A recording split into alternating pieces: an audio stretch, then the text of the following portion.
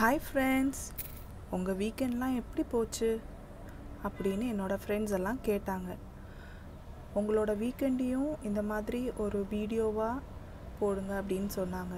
So என்னோடய ரொட்டீனை தான் போட போகிறேன் as on a weekend day and வீக்கெண்ட்னாலே laziness தான். ஸோ என்னோடய வீக்கெண்ட்க்கு நான் என்னோடய breakfast lunch tea time and டின்னருக்கு நான் என்னெல்லாம் செய்கிறேன் அப்படிங்கிறதையும் என்னோடய ரெசிபீஸாக ஷேர் பண்ணுறேன் உங்களோட. வீக்கெண்ட் மார்னிங் ஆஸ் யூஷுவல் லேட்டாக தான் எந்திரிச்சோம் எல்லோரும். வீக்கெண்ட்னாலே குட் ஸ்லீப் தானே. ஸோ லேட்டாக எந்திரிச்சதுக்கப்புறம் எல்லாருக்குமே ஒரு கப் ஆஃப் காஃபி இருந்தால் நல்லா இருக்கும். எஸ் நாங்களும் எங்களோட டேயை பிகின் பண்ணோம் with a cup of coffee and அதுக்கப்புறம் என்னோடய குட்டீஸ்க்கு ஃபீட் பண்ணிவிட்டு அண்ட் அவங்களோட பிரேக்ஃபஸ்ட்டை முடிச்சுட்டு அண்ட் அவங்களோட கொஞ்சம் சிட் சேட் பண்ணிகிட்டு இருந்தேன். அதுக்கப்புறமா பிரேக்ஃபாஸ்ட்டுக்கு என்ன பண்ணலாம் அப்படின்னு நினச்சிட்டு சரி ஓகே டக்குன்னு ஒரு குயிக்காக ஒரு சாண்ட்விச் பண்ணிடலாம் அப்படின்னு நினச்சேன். ஏன்னா நம்மளுக்கு மார்னிங் ஏதாவது லைட்டாக இருந்தால் நல்லா இருக்கிற மாதிரி இருந்துச்சு. ஸோ அதனால் நான் சாண்ட்விச் செய்யலாம் அப்படின்னு நினச்சேன். ஸோ சாண்ட்விச்னால் நம்ம ஸ்வீட்டாக பண்ணலாமா ஸ்பைஸியாக பண்ணலாமா எக் யூஸ் பண்ணி பண்ணலாமா அப்படின்னு நிறைய தாட்ஸ் ஸோ நம்ம ஏன் ஒரு புதுசாக ஒரு சாண்ட்விச் ட்ரை பண்ணக்கூடாது அப்படின்னு நினச்சேன். குக்கிங் எல்லாமே நம்ம பண்ணுறது தானே. ஸோ எதாவது நியூவாக ட்ரை பண்ணலாம் அப்படின்னு நினச்சேன். ஸோ அதுக்காண்டி நான் ஒரு ஹாட் அண்ட் ஸ்வீட் சாண்ட்விச்சாக செய்யலாம் அப்படின்னு நினச்சேன். அதாவது அதில் ஸ்வீட்டினஸும் இருக்கும். அட் த டைம் அது கொஞ்சம் ஸ்பைஸியாகவும் இருக்கும். அண்ட் அதுக்கு என்னெல்லாம் வேணும்னு நம்ம பார்த்துடலாம். எல்லாமே சிம்பிளான இன்க்ரீடியன்ட்ஸ் தான். நார்மல் சாண்ட்விச்க்கு உண்டான மெட்டீரியல்ஸ் தான் அதெல்லாம். இந்த லிஸ்ட் ஆஃப் இன்க்ரீடியன்ட்ஸ் நான் எடுத்துக்கிட்டேன். இதில் நீங்களும் உங்கள் சாண்ட்விச் பண்ணுறதுக்கு முன்னாடி இருக்கான்னு செக் பண்ணிக்கோங்க. நான் ப்ரெட் ஸ்லைசஸ் எடுத்தேன். நான் ஒயிட் ப்ரெட் தான் எடுத்திருக்கிறேன். பட் மோர் ஹெல்தியர் ஆப்ஷனுக்கு நீங்கள் வீட் ப்ரெட் கூட யூஸ் பண்ணி பண்ணலாம். நல்லா இருக்கும். அண்ட் நான் டூ எக்ஸ் எடுத்திருக்கிறேன். அண்ட் ஒரு ஆனியன் அண்ட் மூணு பல் பூண்டு எடுத்தேன். அண்ட் கொஞ்சம் கொத்தமல்லி இலை. அண்ட் கொஞ்சம் டிஃப்ரெண்ட்டாக இருக்கட்டுமே அப்படின்னு சொல்லிட்டு கொஞ்சம் ப்ரெட் க்ரம்ஸும் எடுத்துருக்கிறேன். ட்ரை பண்ணி பார்க்கலாம். And as usual butter of course butter இல்லாமல் சாண்ட்விச்சே இல்லை. உங்களுக்கு இது பட்டர் இல்லைன்னா கூட கீ யூஸ் பண்ணியும் பண்ணலாம். அண்ட் இது ஜாம் ஏதாவது ஃப்ரூட் ஜாம் நீங்கள் எடுத்துக்கலாம். உங்கள் ஃபேவரேட்டான ஃப்ரூட் ஜாம் நான் இப்போ என்னோடய கார்லிக்கை கிரேட் பண்ணிக்கிட்டேங்க. ஒரு பவுலில் ஒரு மிக்சிங் பவுலில் அண்ட் அது கூட நான் சாப் பண்ணி வச்ச ஆனியன்ஸை ஆட் பண்ணேன். அண்ட் அதுக்கப்புறமா சால்ட் உங்களுக்கு எவ்வளோ சால்ட் வேணுமோ உங்களுக்கு தேவையான சால்ட் ஆட் பண்ணிக்கோங்க. அண்ட் அதுக்கப்புறம் கொஞ்சம் ஸ்பைசினஸ்க்கு கொஞ்சம் ரெட் சில்லி ஃப்ளேக்ஸும் ஆட் பண்ணிக்கிட்டேன். அண்ட் கொஞ்சம் கொரியாண்டர் லீவ்ஸ்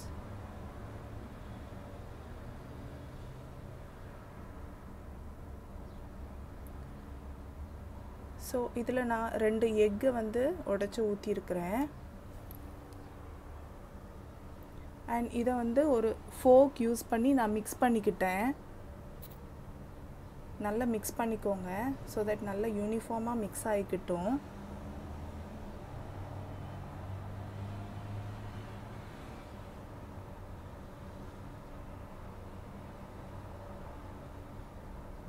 இப்போ நான் ஒரு சைஸ் ஆஃப் பிளெட்டில் வந்து ஜாம் தடவிருக்கேன் அப்போ இன்னொன்று வந்து பட்டரை வச்சு ஸ்ப்ரெட் பண்ணியிருக்கிறேன். இப்போ நம்ம சாண்ட்விச்க்கு பண்ணுற மாதிரி ஒரு ஸ்லைஸ்க்கு மேலே இன்னொரு ஸ்லைஸை வச்சு கவர் பண்ணிக்கோங்க. நல்லா ப்ரெஸ் பண்ணி விட்டுக்கோங்க.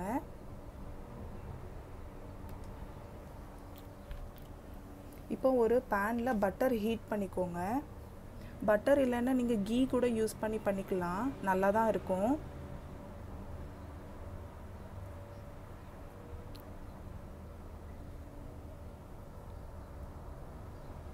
இப்போ நான் என்னோடய ப்ரெட் ஸ்லைஸ் அதாவது அந்த சாண்ட்விச் டைப்பை வந்து வைக்கிறேன். என்னோடய தவாவில்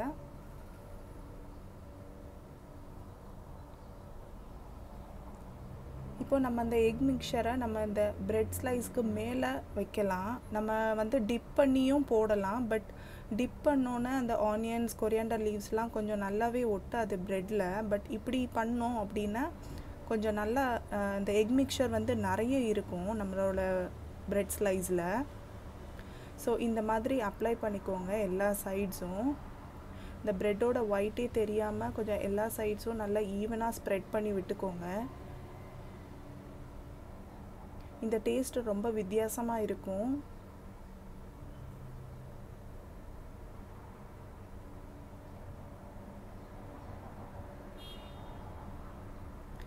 இப்போ நான் வந்து ஒரு சைட் டாஸ் பண்ணி முடிச்சுட்டு அதுக்கப்புறமா கொஞ்சம் பிரெட் க்ரம்ஸை வந்து ஸ்ப்ரிங்கிள் பண்ணிவிட்டு ஸோ கொஞ்சம் செட் பண்ணி விட்டுக்கிறேன். அண்ட் இப்போ அதர் சைடும் இந்த மாதிரி போட்டுட்டு நான் திருப்பி விடுறேன் பாருங்கள் ஸோ தட் நம்மளுக்கு அந்த எக் மிக்சர் வெளியில் வராமல் இருக்கும். இந்த பிரெட் க்ரம்ஸ் வந்து அதை நல்லா டைட்டாக பேக் பண்ணிவிடும் அண்ட் வெளியில் பிரெட் க்ரம்ஸ் போட்டுக்கிறதுனால நம்மளோட சாண்ட்விச் வெளியே நல்லா கிறிஸ்பியாகவும் இருக்கும். நல்லா டோஸ்ட் ஆகிடுச்சு நம்மளோட சாண்ட்விச் இப்போது பாருங்கள் ரெடி ஆகிடுச்சு நல்லா ப்ரௌனிஷாக நல்லா கிறிஸ்பியாக இருக்குது இந்த சாண்ட்விச் நல்லா வெளியே கிறிஸ்பியாகவும் ஸ்பைசியாகவும் அண்ட் உள்ளே வந்து நல்லா ஸ்வீட்டாகவும் இருக்கும். ரொம்ப டிஃப்ரெண்ட்டாக இருக்குங்க. வேணுன்னா நீங்கள் சீஸ் கூட ஆட் பண்ணிக்கலாம் பட்டர் லேயருக்கு மேலே. அதுக்கப்புறம் நான் என்னோட டைம் கொஞ்ச நேரம் எடிட்டிங்கில் ஸ்பெண்ட் பண்ணேன். அண்ட் ஆஸ் யூஷுவல் கிட்ஸ் விளையாண்டுட்டு இருந்தாங்க. அதுக்கப்புறமா தான் I started refreshing my kids அவங்கள பேத் பண்ணலாம் அப்படின்னு நினச்சேன். So it's their bath time now bath time எப்போதுமே ஃபன் தான். அண்ட் இன்னைக்கு weekend so something special weekend எப்போதுமே எங்கள் கிட்ஸ் பாத் டப்பில் வாட்டர் ஃபில் பண்ணி அதில் பபிள் பாத் போட்டு குடிக்கணும்னு நினைப்பாங்க. ஸோ அதுக்காண்டி நான் என்னோடய பாத் டப்பை செட் பண்ணிகிட்டு இருந்தேன்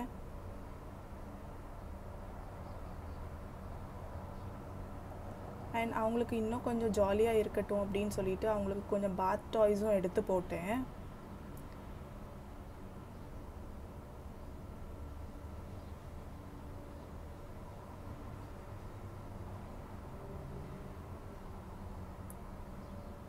கிட்ஸ் விளையாடுறாங்க தண்ணியில்.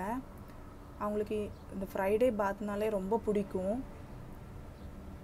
ஏன்னா அவங்க இஷ்டத்துக்கு விட்டுருவேன் கொஞ்சம் நேரம் விளையாடுறதுக்கு தண்ணியில். ஸோ நல்லா என்ஜாய் பண்ணுவாங்க அவங்களோட பாத் டைமை இப்படியா எங்கள் பாத் டைம் குட்டீஸோட போச்சு. அண்ட் அதுக்கப்புறமா கொஞ்ச நேரம் அப்படியே ரீஃப்ரெஷ் ஆகிட்டு அதுக்கப்புறம் கொஞ்ச நேரம் டிவி பார்த்துட்ருந்தோம் எல்லோரும். பொதுவாக தமிழ் சேனல்ஸ் தான் பார்ப்போம். அண்ட் சம் மூவிஸும் கூட அப்பப்போ பார்ப்போம். அண்ட் டைம் டுவெல் ஆயிடுச்சு. So it's time for lunch so obviously நாங்கள் வீக்கெண்ட் தான் வெளியில் தான் ஆர்டர் பண்ண போகிறோம் லஞ்ச் ஸோ நான் ஏதாவது பிரியாணி சாப்பிட்லாம். ஏதாவது இன்ட்ரெஸ்டிங்காக ஒரு பிரியாணி சாப்பிடுவோம் அப்படின்னு சொன்னேன். அண்ட் நல்ல ஒரு ஃப்ளேவராக எனக்கு வந்து லெஸ் ஸ்பைஸியாக போதும். ஆனால் என்னோடய பிரியாணி வந்து உண்மையிலேயே ரொம்ப ஃப்ளேவர்ஃபுல்லாக இருக்கணும் அப்படின்னு சொன்னேன். ஸோ அப்போ தான் என்னோடய ஹஸ்பண்ட் வந்து சொன்னாங்க இங்கே வாழை இலையிலையும் பிரியாணி செஞ்சு செய்வாங்க அப்படின்னு சொல்லிட்டு. எனக்கு வித்தியாசமாக இருந்துச்சு. என்னடா வாழை இலையில பிரியாணியா? அப்படின்னு. ஓகே அதையும் ட்ரை பண்ணி பார்க்கலாம் அப்படின்னு நினச்சிட்டு ட்ரை பண்ணேன். பட் அந்த பிரியாணி நல்ல ஃப்ளேவர்ஃபுல்லாக யம்மியாக இருக்கும்னு சொன்னாங்க. அண்ட் அந்த பிரியாணிக்கு பேர் பொதி பிரியாணின்னு சொன்னாங்க. இது வந்து Kerala special. Yes it's Thalassery pothi chicken biryani நாங்கள் ஆர்டர் பண்ணியிருந்தோம். எங்களோட வீக்கெண்ட் ஆஃப்டர்நூன் லஞ்சுக்கு ஐட்டம்ஸ் எல்லாம் வந்துருச்சு. ஸோ இதில் என்னெல்லாம் இருந்துச்சு அப்படின்னு சொல்லிட்டு நான் காமிக்கிறேன். நாங்கள் ஆர்டர் பண்ணதில் இதில் ஒரு கறி இருந்துச்சு அண்ட் பாப்பட் அதுக்கப்புறமா as usual raita and sweet இருந்துச்சு அது கூட. அண்ட் எங்களோட பிரியாணி. அண்ட் என்னோட சன் ஆல்ரெடி ஸ்டார்ட் பண்ணிட்டான் with the papad he is ready for the lunch and இப்போ என்னோடய ஹஸ்பண்ட் ஓப்பன் பண்ணுறாங்க அந்த பிரியாணி பார்சல் உண்மையிலேயே ஆனால் வாழை இலையில தான் இருக்கான்னு தெரியல. ஆமாம் வாழை இலையில தான் பேக் பண்ணியிருக்கிறாங்க பிரியாணி. பட் ஓப்பன் பண்ணி பார்ப்போம் எப்படி இருக்குன்னு. என்னோடய ஹஸ்பண்ட் ஓப்பன் பண்ணுறாங்க பார்க்கலாம். ஜீரக சம்பா ரைஸில் பிரியாணி பண்ணியிருக்கிறாங்க நல்ல ஸ்மெல் வருது பிரியாணி. அண்ட் ரொம்பவே டேஸ்டியாக இருக்குது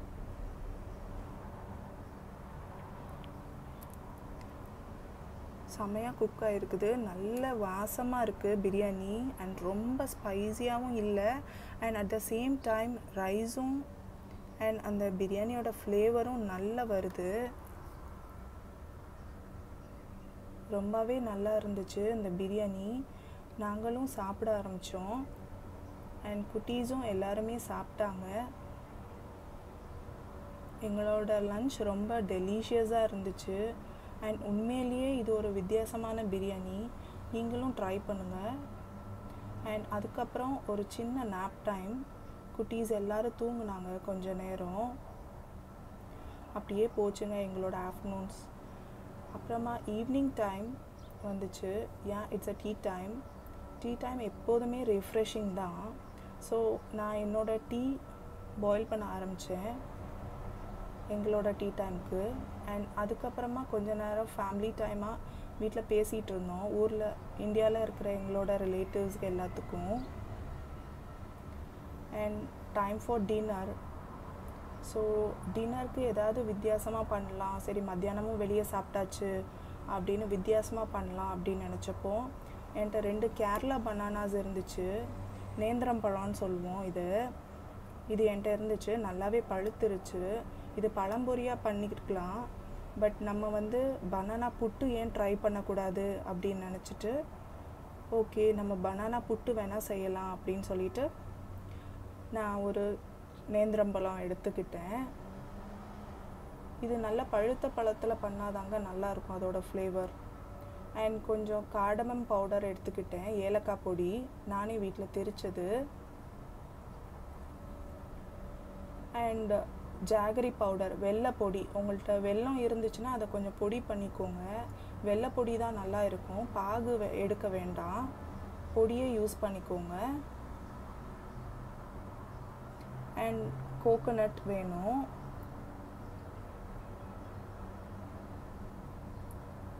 அண்ட் புட்டு செய்கிறதுக்கு வந்து ரைஸ் பவுடர் அதாவது புட்டு பொடின்னு சொல்லுவோம். அது எடுத்துக்கோங்க. நான் வந்து ரெண்டு கப் எடுத்துக்கிட்டேன். அண்ட் கொஞ்சம் சால்ட் மிக்ஸ் பண்ணுறேன் அது கூட.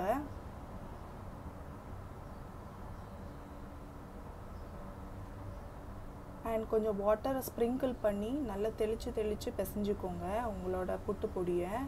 இந்த இப்படி நல்லா உதிரி உதிரியாக கொஞ்சம் தண்ணி சேர்த்து கொஞ்சம் நல்லா பிசைஞ்சுக்கோங்க. ஸோ உங்கள் விரலை வச்சு இப்படி பார்த்தீங்கன்னா இப்படி ஷேப் செட் ஆகணும். ஆனால் திருப்பி நொறுக்கணுன்னாலும் பவுடர் மாதிரி ஆகிடணும் அந்த மாதிரி ஃபார்முக்கு பிசைஞ்சுக்கோங்க உங்களோட புட்டு பொடியை. இப்போ நான் இந்த பனானாஸ் இந்த நேந்திரம்பழத்தை க்யூப்ஸ் மாதிரி கட் பண்ணியிருக்கிறேன்.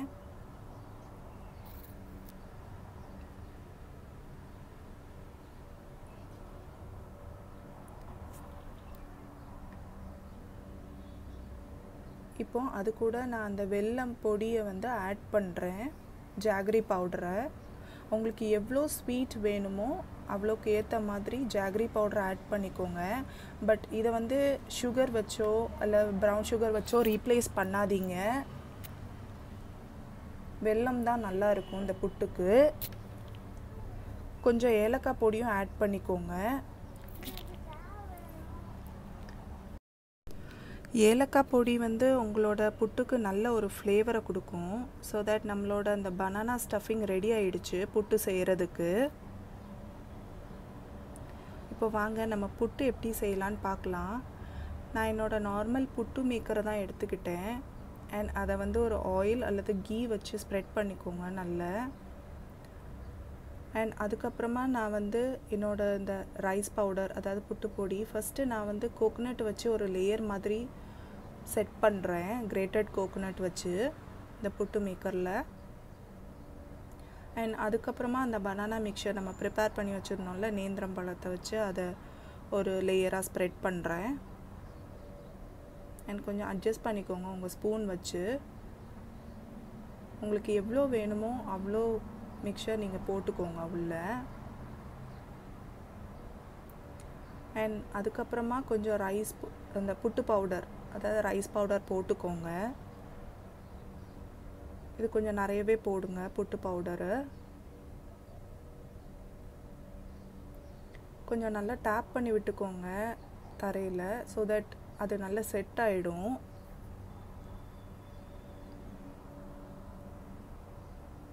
அதுக்கப்புறமா இந்த மாதிரி லேயர்ஸை ஃபார்ம் பண்ணுங்கள் இப்போ நான் அந்த பனானா மிக்சர் ஆட் பண்ணுறேன் ஒவ்வொரு லேயராக செட் பண்ணுங்கள் ஸோ தட் நம்ம புட்டு நல்லா சூப்பராக டெலிஷியஸாக இருக்கும்.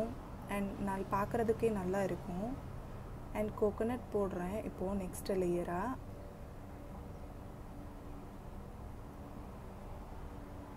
டாப் பண்ணி விட்டுக்கிறேன். ஸோ தட் நல்லா செட் ஆகும் நம்ம போடுறது. ஒன்றுக்கு மேலே ஒன்று போடுறோம். ஸோ அதனால் நம்மளோட puttu coconut and banana mixture மூணுமே நல்லா செட் ஆகிடும்